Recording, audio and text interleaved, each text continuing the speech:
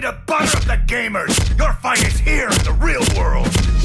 Den japanske kullspillregissøren Goichi Suda, kanskje bedre kjent som Suda51, har krydra spillindustrien med sin unike stil siden starten av 90-tallet. Men det var No More Heroes for Nintendo Wii som gjorde mer oppmerksom på spillene sine. Nå er det snart ti år siden etterfølgeren kom ut, og fansen venter fremdeles på No More Heroes 3.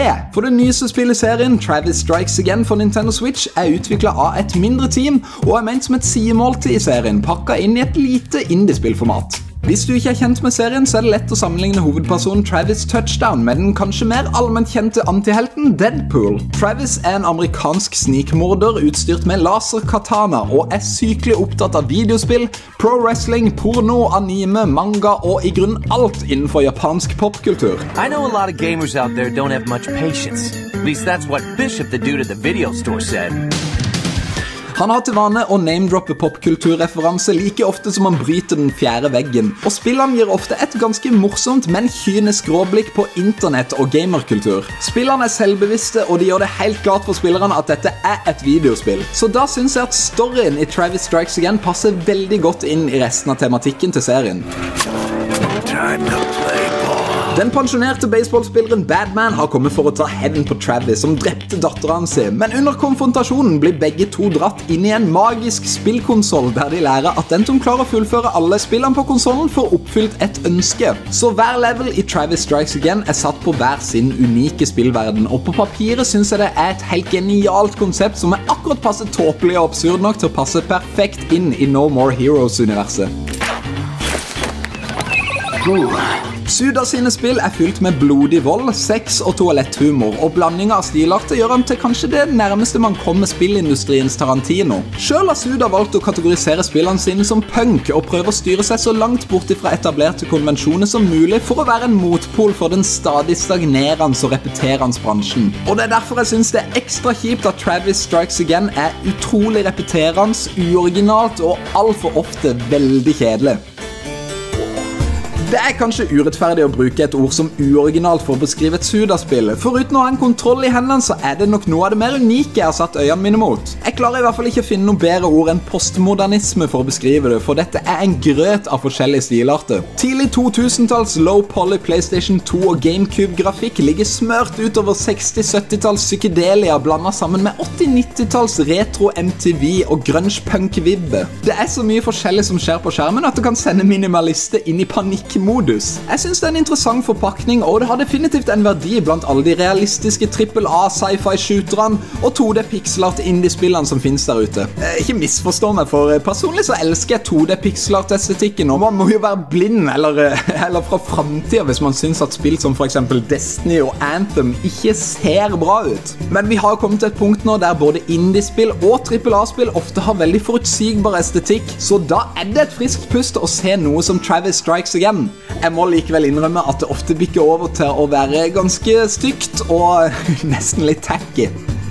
Jeg vet ikke om det har noe å gjøre med at jeg har blitt en del eldre, eller at det rett og slett ikke er like bra lenger, men jeg satte mye mer pris på den frekke, fjerde veggbrytende dialogen da første spillet kom ut da jeg var sånn 17-18 år gammel.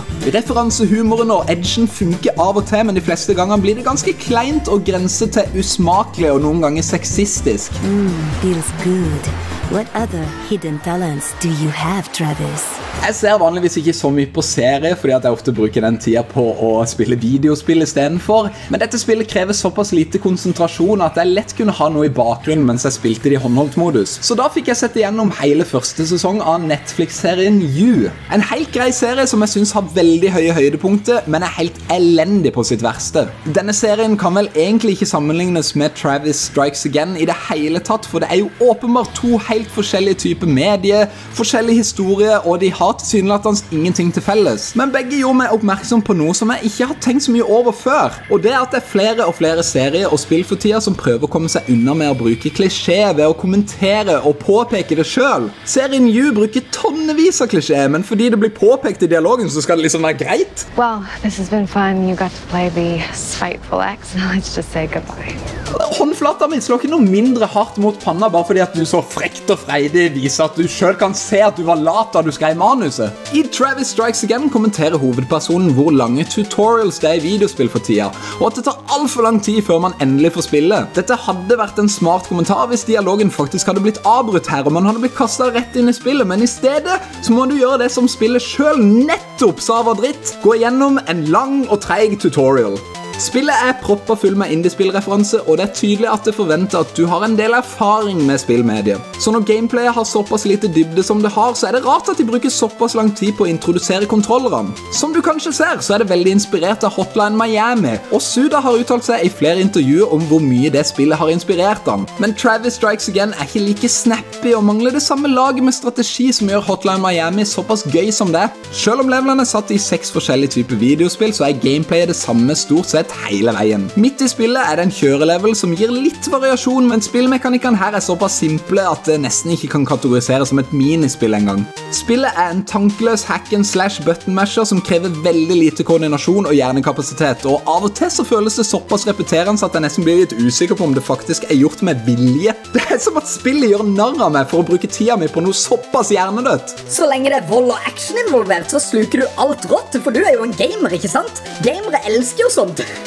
Dumme gamer. Man kan velge mellom tre forskjellige vanskelighetsgrader. Sweet, mild og bitter. Og jeg synes det er helt greit å ha egne navn på vanskelighetsgradene hvis de hadde fortalt meg hva de betydde. Mild er i midten, så det må jo være medium, men ordet mild tilsier jo at det er en mild opplevelse, og det må jo bety at det er lett, så ah, Hvis det ikke hadde vært for at jeg hadde spilt de tidligere spillene i serien, så hadde jeg ikke hatt peiling på hvilken jeg skulle valgt. For sweet betyr lett, mild betyr medium, og bitter betyr vanskelig. Jeg pleier som regel alltid å velge medium, men for min del så ble Travis Strikes Again veldig simpelt, langdratt og rett og slett altfor lett i denne vanskelighetsgraden. Det er en liten vanskelighetskurve mot slutten, men da følte jeg meg allerede veldig ferdig med spillet. Alle fiendene og bossene føles veldig like, og angrepene power-up som du unlocker underveis, mangler også variasjon. Jeg testa ut alle power-upsene underveis, men endte alltid tilbake på de jeg var vant til å bruke.